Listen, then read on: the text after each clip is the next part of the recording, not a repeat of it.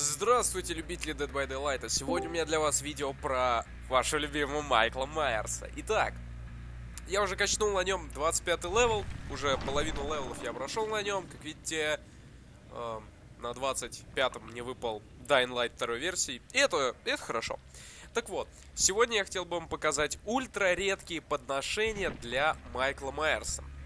Если вы знаете, то, соответственно, у него есть способность Within, которая позволяет заниматься слежкой за выжившими. И чем дольше Майкл следит, тем он становится более сильнее. Три стадии у этого Within есть, соответственно, способности.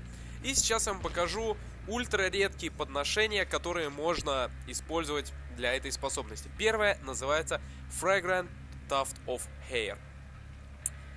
Она позволяет бесконечно использовать третью стадию Evil Within, но очень сильно увеличивает зло, которое нужно накопить для третьей стадии. То есть, на самом деле штука довольно полезная, но есть вот действительно одно хорошее но. Это не имба. Да, вы будете убивать выживших с первого удара. Да, вы будете переходить через препятствия гораздо быстрее. Да, скорость передвижения у вас будет максимальной.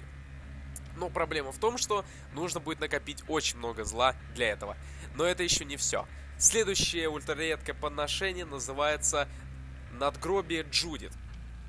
Э, Джудит это его сестра. Разблокирует способность убить выжившего, если у вас есть третья стадия Evil Within. Вы теряете возможность слежки, когда у вас третья стадия зла очень сильно увеличивает рост зла для третьего Evil Within и увеличивает скорость передвижения, по-моему.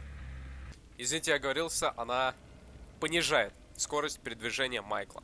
Вот такие ультра редкие аддоны, доступны для Evil Within с Майклом Майерсом. Их я выбил за 25 уровней на нем. Так что, ну, как-то так.